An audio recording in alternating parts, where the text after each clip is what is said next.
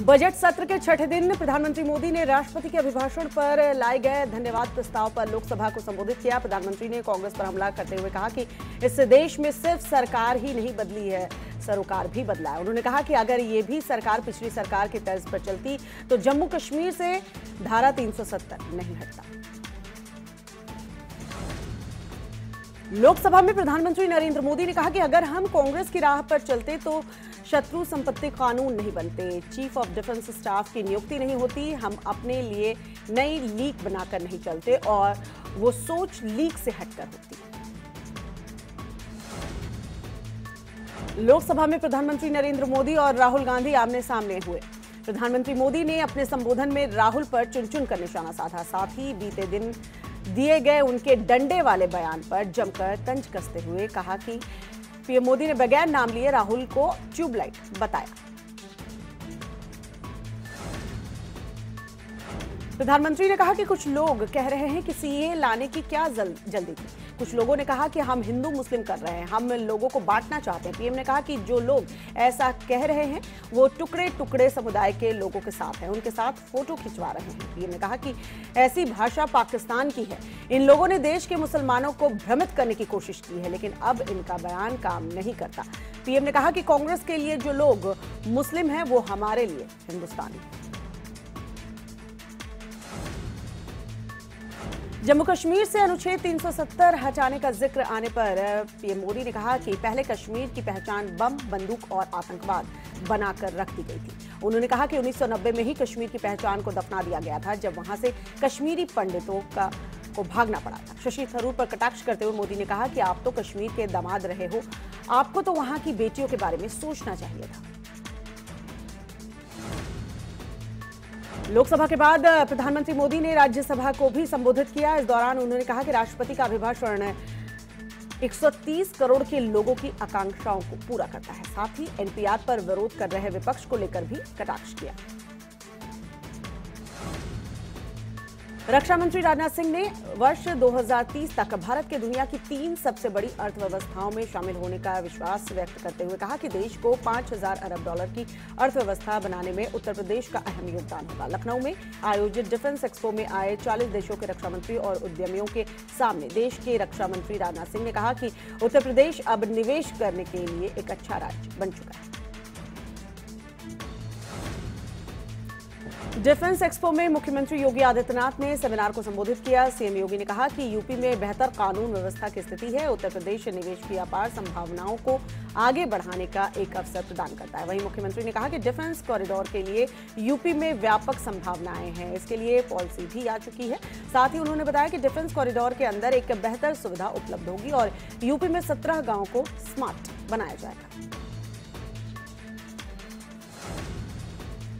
शाहीन बाग में सीए और एनआरसी के खिलाफ आंदोलन जारी है। दिल्ली चुनाव को लेकर बीजेपी नेता शाहीन बाग का मुद्दा लगातार उठाते नज़र आ रहे हैं। अब बीजेपी सांसद और केंद्रीय मंत्री गिरिराज सिंह ने शाहीन बाग को लेकर ट्वीट किया है। गिरिराज ने ट्वीट करके कहा है कि ये शाहीन बाग अब सिर्फ़ आंदोलन नहीं रह गया, यहाँ सुसाइड बॉम्बर का जत्था बनाया जा रहा है। देश की राजधानी में देश के खिलाफ साजिश रची जा रही है। फैजाबाद से बीजेपी सांसद लल्लू सिंह ने कहा है कि ट्रस्ट में कौन लोग शामिल हैं इस बात से उन्हें कोई फ़र्क नहीं पड़ता। ये सरकार का काम है कि ट्रस्ट में कौन लोग रहेंगे, कौन नहीं। सबसे बड़ी खुशी की बात यह है कि अब मंदिर के निर्माण का कार्य जल्द ही शुरू होगा।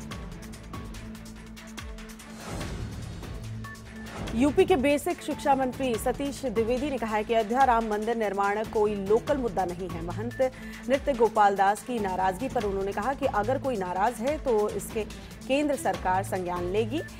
ये उनके विषय की बात नहीं है। अयोध्या राम मंदिर के निर्माण का इंतज़ार सिर्फ़ अयोध्या वासी ही नहीं, बल्कि पूरा विश्व कर रहा है। राम मंदिर ट्रस्ट को मंजूरी मिलने पर उत्तराखंड के पूर्व सीएम हरीश रावत ने बीजेपी पर आरोप लगाते हुए कहा है कि जिस मुद्दे पर पूरा देश साथ खड़ा था, ऐसे मुद्दे पर ट्रस्ट निर्माण का फैसला ऐसे समय पर किया गया जब दिल्ली में चुनाव है। इससे साफ़ लगता है कि बीजेपी वाले राजनीति करना चाहते हैं। देहरादून में अपनी मांगों को लेकर धरना प्रदर्शन कर रहे ई रिक्शा चालकों के बीच। पूर्व सीएम हरीश रावत पहुँचे, उन्होंने ई रिक्शा चालकों का समर्थन किया। उन्होंने कहा कि जिस तरीके के नियम कानून इनके लिए बनाए गए हैं, उससे इनकी बर्बादी निश्चित है। हल्द्वानी में कांग्रेस कार्यकर्ताओं ने केंद्र सरकार का पुतला दहन करते हुए सैनिकों का उत्पीड़न करने का आरोप लगाया है। कांग्रेस जिला महामंत्री हेमंत साहू के नेतृत्व में प्रदर्शन कर रहे कांग्रेस कार्यकर्ताओं ने उत्तराखंड के सैनिक रमेश बहुगुणा की सियाचिन में ठंड से मौत हो जाने के बाद केंद्र सरकार पर सवाल खड़े किए हैं। कांग्रेस नेताओं ने कहा कि प्रधानमंत्री मोदी राष्ट्रवाद और सैनिकों की बात करते हैं, लेकिन सैनिकों को सुविधाओं के अभाव में उनकी मौत हो जाती है, जो कि एक बड़ी लापरवाही है। उन्होंने रक्षा मंत्री से इस्तीफे की मांग की।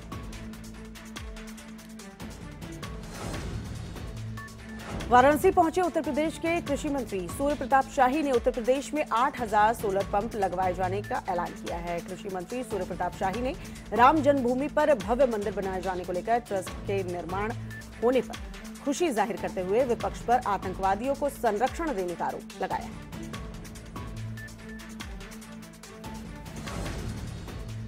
उत्तर प्रदेश के गौतम बुद्ध नगर ज़िले के जेवर में बन रहे नोएडा अंतर्राष्ट्रीय एयरपोर्ट को पर्यावरणीय मंजूरी मिल गई है। उत्तर प्रदेश मुख्यमंत्री कार्यालय के प्रिंसिपल सेक्रेटरी एसपी गोयल ने ट्वीट कर इस बात की जानकारी दी है। उन्होंने एनवायरमेंटल क्लियरेंस मिलने पर खुशी ज़ाहिर की है। जेवर एयरपोर्ट एशिया का दूसरा सबसे बड़ा अंतर्राष्ट्रीय हवाई अड्डा होगा।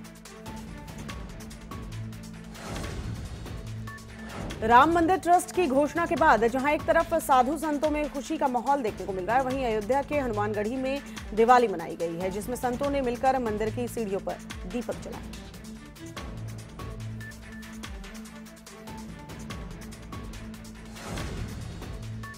देहरादून में अपर निजी सचिव भर्ती परीक्षा 2017 के आवेदनकर्ताओं ने सरकार से राहत की मांग की है। बेरोजगार युवाओं का नेतृत्व कर रहे रविंद्र जुगरान का आरोप है कि एक तरफ़ सरकार ने मौजूदा साल को रोज़गार वर्ष घोषित किया है तो वहीं दूसरी तरफ़ अपर निजी सचिव भर्ती परीक्षा 2017 में करीब 2000 आवेदनकर्ताओं को मुख्य परीक्षा से बाहर किया गया है, जो समझ से परे है। आवेदनकर्ताओं ने सरकार से बेरोजगार युवाओं को राहत देने की मांग की। विलुप्त हो रहे स्नो लेपर्ड के संरक्षण की कवायद, वन महकमे ने तेज कर दी है स्नो लेपर्ड की वास्तविक स्थिति का खाका तैयार करने के लिए वन विभाग कंजर्वेशन सेंटर खोलेगा। इसके माध्यम से स्नो लेपर्ड से जुड़ी तमाम जानकारियाँ यहाँ मिल पाएँगी और प्रदेश के हाई एल्टीट्यूड के एरिया में इम्प्रूवमेंट भी देखने को मिलेगा। बद्रीनाथ धाम में रिकॉर्ड बर्फबारी हुई है। वहीं इस बार बद्रीनाथ धाम के कपाट भी जल्द 30 अप्रैल को खुल रहे हैं। ऐसे में यहाँ हुई ज़बरदस्त बर्फबारी, परेशानी भी बन सकती है। बद्रीनाथ धाम में मंदिर के अलावा बाकी सब बर्फ़ की आगोश में आ चुका है। बद्रीनाथ धाम पहुँचने के रास्ते जगह जगह ग्लेशियर आने से पूरी तरह से बंद पड़े हुए बोर्ड की परीक्षाओं में नकल पर रोक लगाने के लिए मुरादाबाद ज़िले में कंट्रोल रूम तैयार कर लिए गए हैं। कंट्रोल रूम से ज़िले के 102 परीक्षा केंद्रों में लगे सीसीटीवी को जोड़ा जाएगा और परीक्षा की हर गतिविधि पर नज़र रखा जाएगा। मेरठ के मिलिट्री ग्रेड इंजीनियरिंग सर्विस के ऑफ़िस में आज सीबीआई ने छापेमारी की है। इस दौरान इंटेलिजेंस ब्यूरो ने ऑफ़िस में काम करने वाले अधिकारी बीबी प्रसाद रेड्डी के को रंगे हाथों रिश्वत लेते गिरफ़्तार किया। अधिकारियों के मुताबिक ठेकेदार ने रिश्वत लेने के लिए शिकायत पहले ही दर्ज कराई। देश में सीए को लेकर हर जगह विरोध प्रदर्शन किए जा रहे हैं। वहीं दूसरी तरफ़ विरोधियों की बुद्धि के लिए हवन भी किए जा रहे हैं। अलीगढ़ में भारतीय जनता युवा मोर्चा ने उपद्रवियों के लिए बुद्धि शुद्धि यज्ञ किया है। इस दौरान पार्टी के पदाधिकारियों ने हवन यज्ञ करके उपद्रवियों के लिए बुद्धि शुद्धि की कामना भी की। अलीगढ़ में अवैध वसूली और रुपयों की लेन देन की लगातार शिकायतों पर एसएसपी ने तत्काल प्रभाव से चौकी प्रभारी को निलंबित करते हुए पूरी पुलिस चौकी पर कार्रवाई की है। इनमें एक दारोगा समेत आठ पुलिसकर्मियों को लाइन हाजिर किया गया है।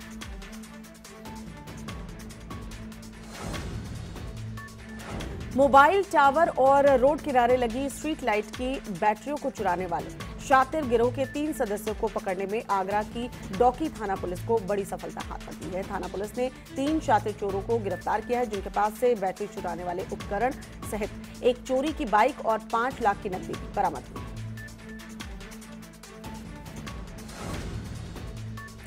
रामपुर में ट्रिपल मर्डर से हड़कंप मच गया है। कर्ज से परेशान सराफा व्यापारी ने अपनी पत्नी और छह महीने के बच्चे को गोली मारकर मौत के घाट उतार दिया। हत्या के बाद सराफा व्यापारी ने खुद को भी गोली मार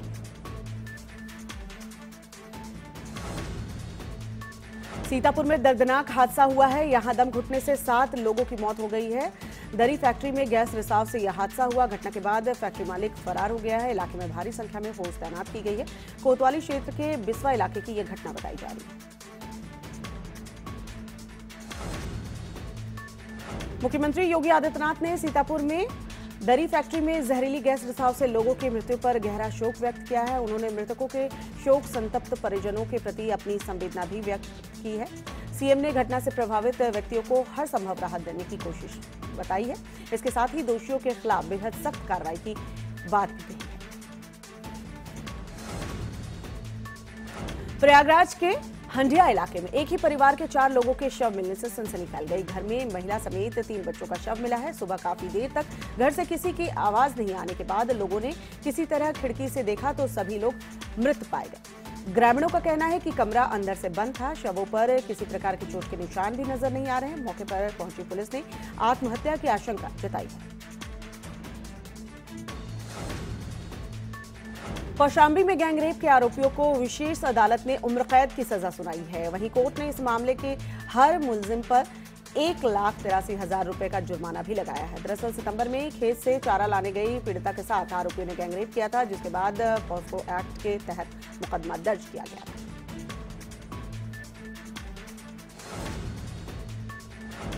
बहराइच के बख्शीपुरा इलाके में आबकारी विभाग ने छापेमारी करते हुए नकली शराब बनाने के एक गिरोह का खुलासा किया है। पुलिस ने मौके से बड़े पैमाने पर बड़ी कंपनियों के ढक्कन, रैपर और चार वाहन भी सीज किए हैं। साथ ही तीन आरोपियों को पुलिस ने हिरासत में लिया है। नैनीताल के कैची धाम के पास 30 जनवरी को बाबा केशवनाथ गोस्वामी की हत्या के मामले में पुलिस को बड़ी सफलता हाथ लगी है। पुलिस ने बाबा की हत्या के आरोप में उनके सेवादार तीरथ सिंह को गिरफ़्तार किया है। पुलिस ने आरोपी सेवादार को नैनीताल जिला कोर्ट में पेश किया। कोर्ट ने आरोपी सेवादार को 14 दिन की न्यायिक हिरासत में जेल भेज दिया है। पुलिस की गिरफ्त में आए सेवादार ने बताया कि घटना वाले दिन बाबा और उनकी किसी बात को लेकर विवाद हो गया था, जिसके बाद सेवादार ने उनकी हत्या कर दी। बुलंदशहर में एनएच 91 पर पुलिस और बदमाशों के बीच मुठभेड़ हो गई। मुठभेड़ के दौरान बदमाशों ने पुलिस पर फायरिंग की, जिसमें दो बदमाशों को पुलिस की गोली लगी। वहीं पुलिस कार सवार चार बदमाशों को गिरफ़्तार कर चुकी बुलंदशहर कोतवाली देहात के सियाना अड्डा के पास एक निर्माणाधीन सीवर लाइन के गड्ढे में हादसा हो गया इस दौरान तीन मजदूर गड्ढे के अंदर ही फंस गए। वहीं दो मजदूरों को पुलिस और स्थानीय लोगों की मदद से बाहर निकाला गया है, लेकिन बचाव टीम की पूरी कोशिश करने के बाद भी तीसरे मजदूर को नहीं बचाया जा सका। सहारनपुर में ग्रामीणों ने आवारा पशुओं को पकड़कर गाँव के ही प्राइमरी स्कूल में बंद कर दिया। गाँव वालों की माने तो आवारा, गोवंश, उनकी फ़सलों को भारी नुकसान पहुँचा रहे थे। जिला प्रशासन से कई बार इसकी शिकायत की गई। इसके बावजूद कोई समाधान नहीं होने पर ग्रामीणों ने यह कदम उठाया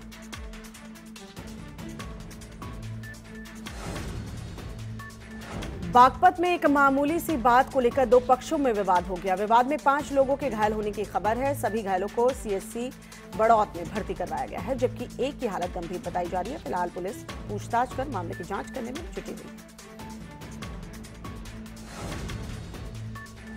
नोएडा में पुलिस ने हनी ट्रैप गैंग का खुलासा किया है। ये गैंग लोगों को रेप जैसे गंभीर मामलों में फंसाने की धमकी देकर उनसे पैसे वसूलता था।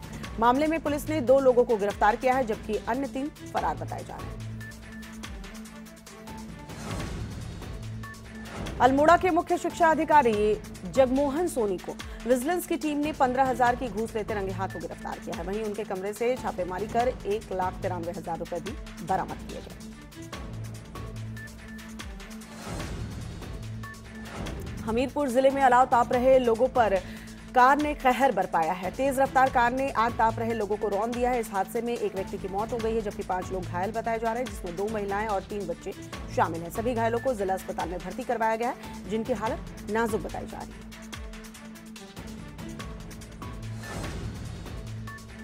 एटा के रिजोर्ट इलाके में खाना बनाते वक्त सिलेंडर में आग लगने से हड़कंप मच गया। आग लगने के बाद आनंद फानंद में लोगों ने आग पर काबू पाया। वहीं इस हादसे में दो लोग गंभीर रूप से झुलस गए हैं। साथ ही घर में रखा लाखों का सामान जलकर खाक हो गया।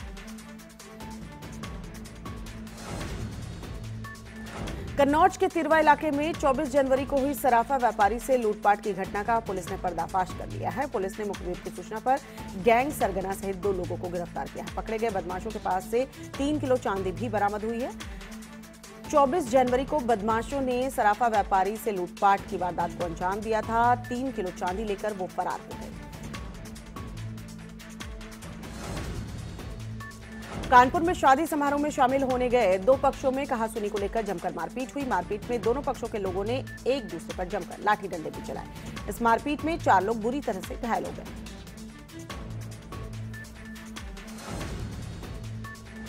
प्रतापगढ़ के लालगंज इलाके में अज्ञात बदमाशों ने दुकानदार को गोली मार दी है। गोली मारने के बाद बदमाश फरार हो गए हैं। मौके पर पहुँची पुलिस। मामले की जाँच करने में जुटी हुई।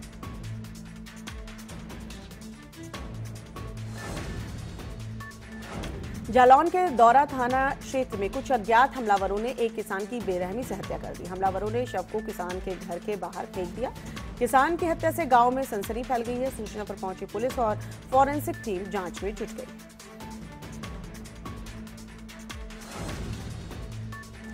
हमीरपुर में ड्राइवर की लापरवाही सामने आई है। तेज रफ्तार बोलेरो ने सड़क किनारे बैठे लोगों को कुचल दिया। हादसे में एक की मौत हो गई है और आठ लोग घायल बताए जा रहे हैं। घायलों में बच्ची और महिलाएँ भी शामिल हैं। कछार गाँव के पास यह हादसा पेश आया।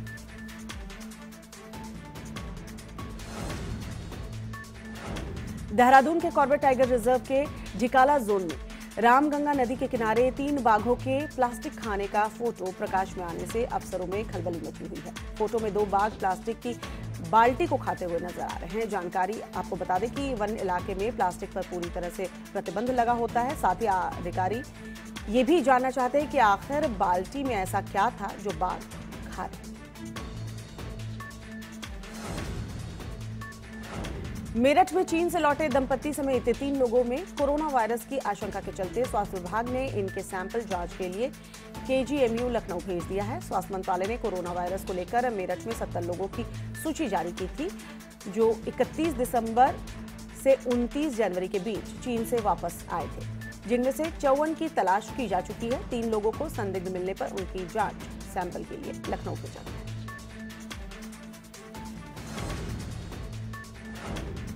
लखीमपुर खीरी के मेहा, मेहवागंज निवासी मोहम्मद हफीज मंसूरी को कोरोना वायरस की जाँच के लिए जिला अस्पताल के आइसोलेशन वार्ड में भर्ती करवाया गया। हफीज मंसूरी अभी चीन से लौटे हालाँकि हफीज में कोरोना वायरस का कोई लक्षण नज़र नहीं आ रहा है। हफीज को सिर्फ़ प्राथमिक जाँच के लिए अस्पताल में भर्ती किया गया। उत्तराखंड के पौड़ी राजकीय कन्या इंटर कॉलेज के 15 ब्लॉक से आए सरकारी स्कूल के छात्र छात्राओं ने जल संरक्षण पहाड़ों की घुमावदार सड़कों में सड़क हादसों से बचने के लिए अपनाई जाने वाली नई तकनीक पेश की है। साथ ही छात्र छात्राओं ने हाथ की कारीगरी दिखाते हुए जूट के रेशों से बने चप्पल, टोकरी और अन्य सामान भी बनाकर